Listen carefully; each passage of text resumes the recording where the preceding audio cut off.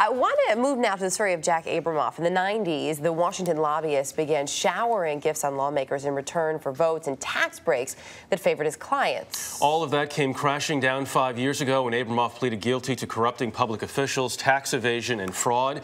He served three and a half years in prison. On last night's 60 Minutes, Abramoff told Lesley Stahl exactly how he used his clients' money to buy powerful friends and influence laws.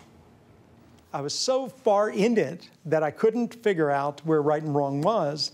I believed that I was among the top moral people in the business. I was totally blinded by what was going on. Jack Abramoff was a whiz at influencing legislation, and one way he did that was to get his clients, like some Indian tribes, to make substantial campaign contributions to select members of Congress. As I look back, it was effective. It certainly helped uh, the people I was trying to help, both the clients and the Republicans at that time. But even that was, you're now saying, was corrupt. Yes.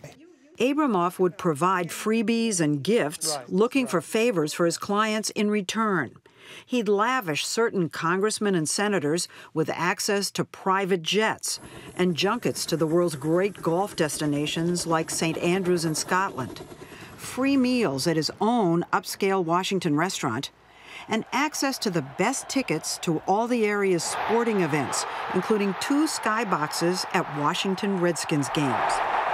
I spent uh, over a million dollars a year uh, on tickets to sporting events and uh, concerts and whatnot at all the venues. dollars? Yeah, yeah. For the best seats? The best seats. I had two people on my staff whose virtual full-time job was booking tickets.